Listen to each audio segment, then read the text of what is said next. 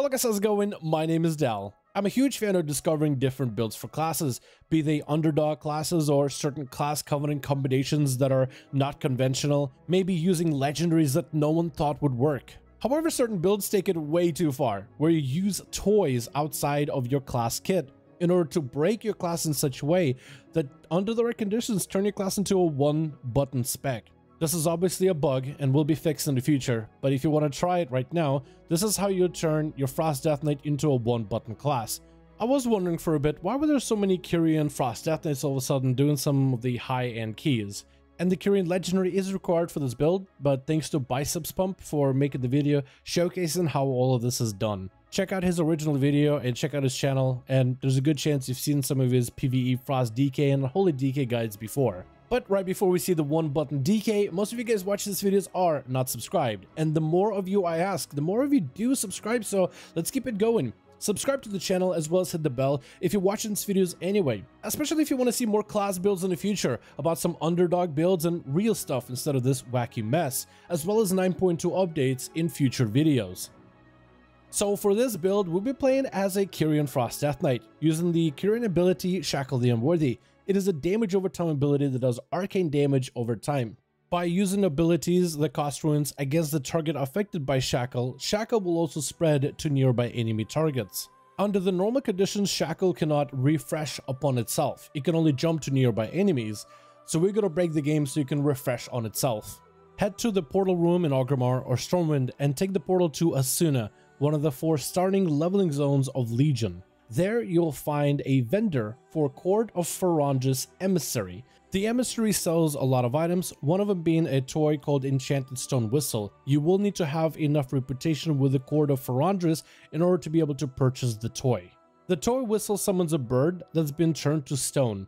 That's it. It's not really super remarkable, but the interaction with Shackle is interesting. Normally, when you hit the enemy with Shackle and you hit him with Obliterate, Shackle does nothing. It just sticks out like a dot. But when you hit the enemy that has Shackle next to the toy, it reapplies a new instance of that dot. This new instance lasts slightly longer than the last one and has other benefits with the reapplication having to do with legendaries and talents. With the legendary for the Kyrian final sentence, Shackle the Unworthy when it spreads to a nearby enemy, you gain a rune and your damage is increased by 3% up to 15 maximum. This gets you the benefits of runic power generation and the benefits of what normally would be an AoE legendary that just now works in single target. With a lot of obliterates, you'll get a lot of runic power. Breath of Sindragosa eats away at runic power very quickly. As you spend runic power, you have a chance to refresh a rune. This combined together with the legendary rune refresh effect basically can get you in a situation where you're constantly pressing obliterate and getting two runes for free, sinking them back into obliterates and getting two runes again, which gives you an endless flow of obliterates. With so much rune spending, playing the talent of Gathering Storm will increase the duration and damage of your Remorseless Winter very rapidly, which is even more damage on top of all the damage you're doing already. It's up to you whether you want to do this or not, but if you play a two-hand Death Knight, you do get extra damage on obliterates which you are constantly spamming if you end up taking the passive for Might of the Frozen Waste as a two-hand combo. Together with the Pelagos Soulbind, every time Shackle the Unworthy is refreshed, Combat Meditation provides you Mastery for 10 seconds. This is a permanent Mastery buff as long as the dot is on the target. So let's do a bit of a review. You get unlimited frost damage with breath that almost never runs out because you can spam obliterate, legendary that constantly gives you resources so you can spam more obliterate, remorseless winter buff by those obliterate damage, mastery buff from Pelagos to give you all frost damage increases, a legendary that provides 15% damage buff even though it's not supposed to on single target. And you get Carpal Tunnel from spam and obliterate. I think it's a pretty good deal. So obviously I wanted to try this playstyle inside of raid and in dungeon. I have no idea why they let me bring in my undergear Death Knight who doesn't have any domination gear for the raid, but there I was, with another Death Knight in the guild that's also trying out the same build. Obviously you want to do this on fights where the boss isn't constantly being moved. You want to do this on fights where the boss is mostly stationary, or at least account for the mechanics where the boss is going to be moving and try to execute most of your burst when the boss is standing still. This playstyle struggles with movement, but so does the class that we play, so I guess it kind of fits. For a lot of the raid fights, this does seem like a, while very cheesy, technically a usable method. There's a lot of different fights where bosses are going to be standing still for extended amounts of time, so technically it does fit in that environment. Although we did find out that when you have two Death Knights, both using the toy and both using this bug in order to get some cheese damage, the bug stops working half the time. I think this is because there's two Death Knights using this build and therefore using two toys. So then the game bugs out when it tries to recreate this bug. But we can't really complain since we were bugging the game in the first place, so it does break with multiple Death Knights it seems. In Mythic Keys I found that this is actually decent damage. Breath of Sindragosa does exceptionally good damage in AoE dungeons. Pull a bunch of enemies on that 2 minute cooldown and then breathe them all down together with Remorseless Winter, which just extra more solid single target damage, but also with natural cleave on top of it. And while you're breathing and you have Remorseless Winter spinning, you can just find the focus target in the group or maybe the boss and start slamming him down with Obliterates, which grades for awesome focus damage.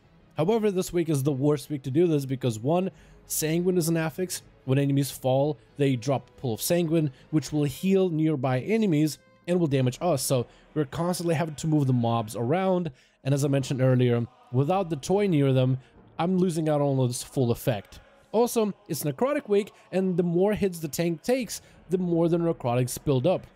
Eventually, the tank is going to have to kite, which means the mobs are getting moved constantly, so I can never get any value on the toy. And my tank is a demon hunter, so part of his defensive playstyle is to run in, get aggro, and kite anyway, so I almost never get any uptime with this playstyle. But when you finally hit that calm moment when it's just the boss and the tank isn't moving everybody from side to side, you can get into that zen moment of you just spam and obliterate, and that's the only button you ever need to hit. A couple of weeks ago, I was looking at some of the logs for Death Knights. I was super excited for Shadowlands to be able to play two-hand playstyle for dungeons and raids, but turns out the dual wield is better for PvE, while the two-hand is better in PvP.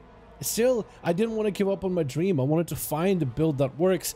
So when I saw some logs of Kyrian Death Knights running two-hand weapons with the Kyrian Legendary, at first I got excited. The likely explanation for that playstyle would have been they probably are a Blood Death Knight main or an Unholy Death Knight main and they just wanted some keys as Frost. That's why they used the two-hander, not because there was like some kind of a cheat code that they figured out that made the two-hand playstyle obliterate spam build good. When I said cheat code, I thought maybe like a trick or a playstyle, maybe like some secondary stats that they've adjusted to facilitate the build to work. I didn't mean literally cheat code that lets them break the class with a toy. But anyway, thank you guys so much for checking out this video. What do you think about this bug? What do you think about this build? Let me know in the comments below. Do you think Blizzard should fix this? And I think the answer is obviously yes. Imagine if you needed a toy just to make any class that you play functional or viable. It's very silly and very fun, but definitely not intended. Hopefully we'll see some balance tuning for some of the Covenants, as well as Covenant Legendaries going to patch 9.2 because this version of a Covenant Legendary definitely feels pretty good to play, so I wonder if they maybe can borrow some of the ideas from this bug in order to make it better for single target. Thank you all so much for watching, hope you guys enjoyed, and as always I'll see all of you in another video.